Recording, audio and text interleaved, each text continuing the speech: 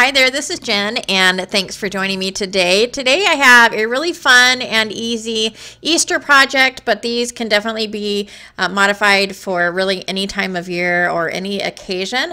I am going to be using a Pixie Dust Designs die called bunny mug and I've already assembled that but I do have a card over on the Pixie Dust Designs YouTube channel sharing exactly how to put together the mug and all of the pieces. It's really super easy um, and not anything um, overly complicated. It is really easy to cut out and um, assemble all of those pieces but we are going to be making a tag box so this is one that I've already done um, just kind of to show I use the same stencil as I did for that card that I just showed and um, this is going to be a really fun and easy uh, project to make maybe gifts for coworkers or just some little uh, treat sets for your kids. Um, those are all of the designs. Desi those are the dies. And um, what I love about, um, I love it when manufacturers put different colors um, so you know exactly who made them. Um, and especially if you drop them, uh, they are easier to find when they're colored. So I really appreciate that. Um, but these are all the supplies we're going to be using. You're just going to need two tags, um, whatever size or color that you would like. You can create your own. You can make them out of pattern paper. Um, and then one of the boxes is actually going to have some sides on them. Uh, so you're going to need some cardstock for that as well. Uh, so one of the tag uh, treat boxes will have a side and one will not. Um, but for this, I'm going to go ahead and show you um, how I create the one with sides. And so I'm going to go ahead and take some Distress Oxides. Um, I am doing both the front and the back of the little treat box.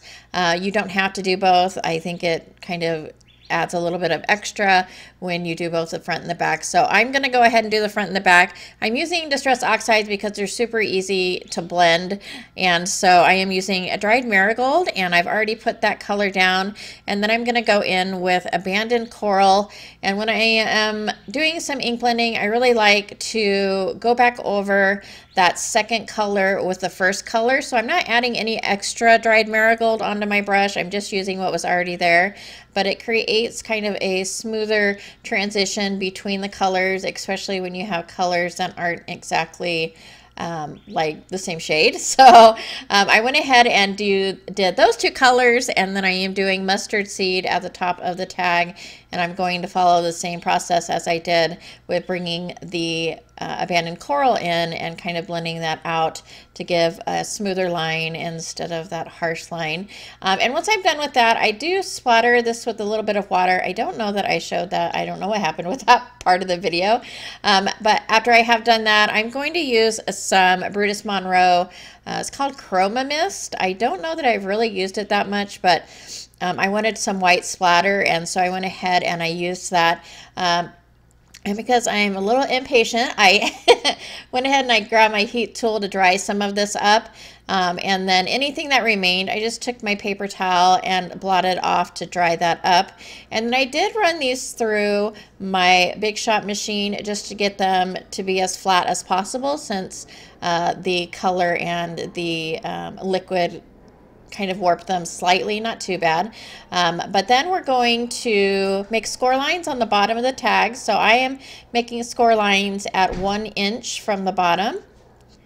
And then we will set those tags aside and we're going to grab the pattern paper that we're going to use for the sides of the box. And so these pieces of pattern paper are two and a half by three. I'm going to score at one and a half, or no, let's go back. I'm going to score at one half inch, one inch, one and a half inch, two inches, and two and a half inches. You probably don't need that many. Uh, you're basically going to make an accordion side. So if you don't really want it to move much, you can just make um, two side uh, score lines and then one right in the middle just so that it has a little bit of give. And then to hold these two pieces or the two tags together to create the box, I'm using this, I believe this is from American Crafts. I used to buy this um, adhesive from Tuesday Morning all the time, but unfortunately, I don't think I have any Tuesday mornings left near me. So um, it's really strong adhesive, and so that's why I like using it. So I'm just going to go ahead and um, add that to the bottom of one, one of the bottom the bottom of one of the tags, yes.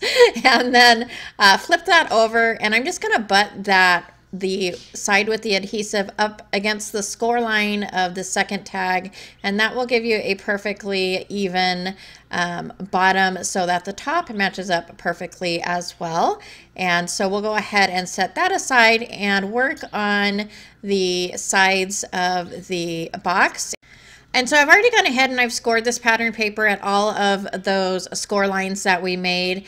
And I just folded it accordion style, so just back and forth. And you just want to make sure that when you're putting the adhesive on that you're putting it on the side that is going to be facing outward. So you want your first fold to kind of fold in and then you'll fold back and forth from there. And so um, after I've got the adhesive, I'm going to go ahead and um, open up the tag and I am actually adhering this to the back of the tag or the back tag um, and I'm adhering it right above the score line or the crease for the bottom where it folds up. Um, and so that will get that perfectly even. And then you're just going to close the tag and adhere it to the other side. And you might have to mess around with the, the accordion, um, the back and forth once you've got it um, adhered in there.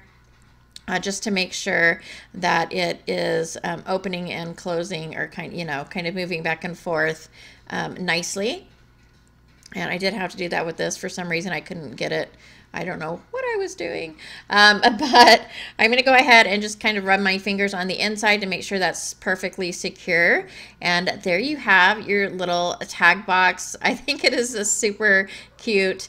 And as you can see, because you have that accordion fold, you've got a little bit of give on that box to move back and forth a little bit and it does stand up perfectly fine when I have stuff in it I'll show you the finished product here in just a second and here are the two completed tag bags. They've all been assembled. The first one, I just used a little baggie of trail mix, but you can definitely take like a, a little cello, cello bag and add candies in it and then attach it through the um, holes in the top of the tag. Um, basically, just added a little bit of ribbon and that is going to finish off that one, but that one fits really nicely. And then for the bag that we created the sides for, I added a little bit of that um, I don't know what that stuff's called, shredded paper. Um, you, you add to gift bags. whatever that's called. Um, and then I added a, a, few little jelly beans in there. So really could add um, any kind of small little candies in there. And then on this one, I also added the um, trim at the top. And that's gonna finish off my project for today. I hope you enjoyed. If you did like this video or find it informative I would love a thumbs up.